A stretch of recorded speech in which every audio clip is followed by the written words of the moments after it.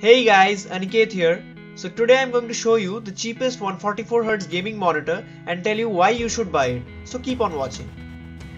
This is the Acer KG241QP, the cheapest 144Hz gaming monitor. It is priced at 12,999 Indian rupees and I can give you surety that you can't get any other 144Hz gaming monitor this good at this price. You might be thinking that why I said this good.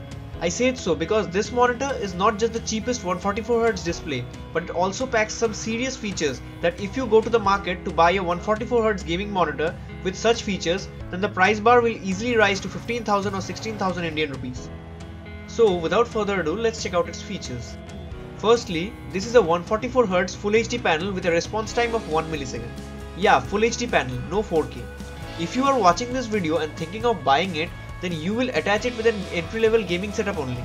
So the Full HD panel is sufficient and what matters the most is the refresh rate and response time.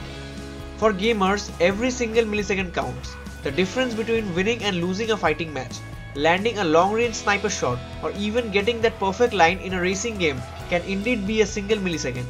So for gamers who are looking for every possible competitive edge, always tries to get a monitor which has the lowest response time.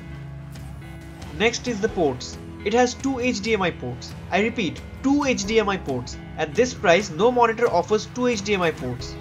And it also comes with a display port. Yet, this was not the best part. The best part is that you get an HDMI cable in the box. Normally, the monitors which are priced below 15,000 has one HDMI and one VGA port and is being shipped with a VGA cable in the box.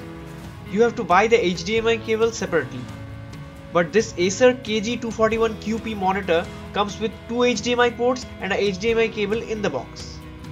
The Acer KG241QP has a brightness of 300 nits. Normally in this price range, monitors have a brightness of 200 to 250 nits. But this monitor offers 300 nits brightness. It also has 11 levels of dark level adjustments. That means you can adjust the dark level as per your choice to get better darks and get a good overall viewing experience.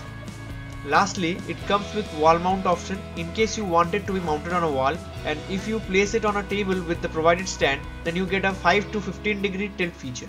I hope I was able to explain why you should buy it. And if you have any more queries, you can ask me in the comment section. And this is it guys, thanks for watching and hey, if you are new to the channel then go down and click the red subscribe button and click on the bell icon to get notified whenever I upload a new video.